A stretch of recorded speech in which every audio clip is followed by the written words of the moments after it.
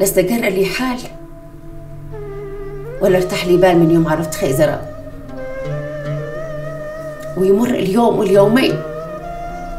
وأنت ما ترفع السماعة تتصل علي. مع هذا كله ما يأست.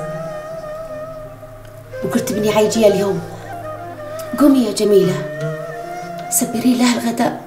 فعلي له الأكلة اللي يحبها.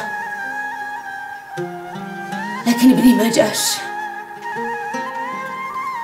قلت حيجي العشي. ما يسمعش يتعشى من طبخ الغداء. قومي يا جميلة. سبري له عشاء من اللي يحبه. ويخطى النهار. ويخطى الليل. واليوم الأول. واليوم الثاني. وأنا أجهز لك صبوحك. وغداك. وعشاك.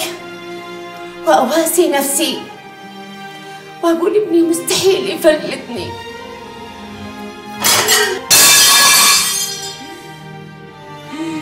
لكن ابني كنت مستغني عني.